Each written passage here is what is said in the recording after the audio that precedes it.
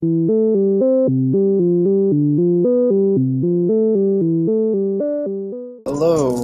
welcome to another episode of Let's Play Emerald Dragon.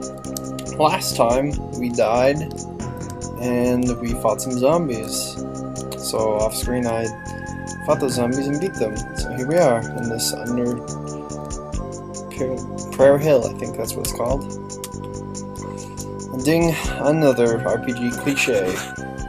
Oh, guess you shouldn't have ran ahead there, buddy for your horn. That's the same horn that he tore off 18 years ago.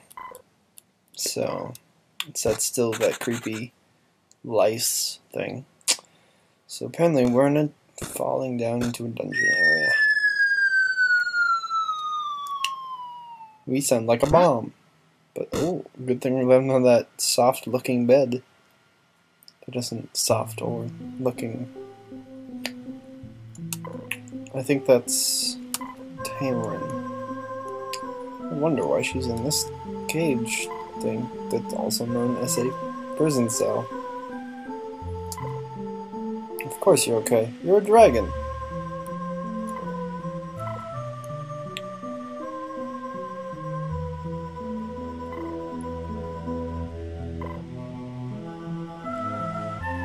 Atrushan has forgotten something. He is a human.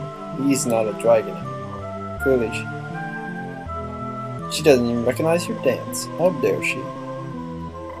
Oh, a little secret creepiness going on here.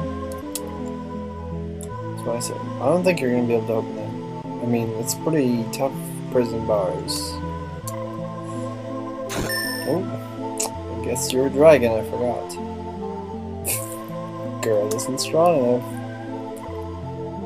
Oh, chivalry. How you so weird and not dead? Time to join the party! Excuse me. Okay, here we go. To fighting. And I leveled up during the battle. Let's go. Oh, actually, let's go this way. I think there's a bandana you can get here.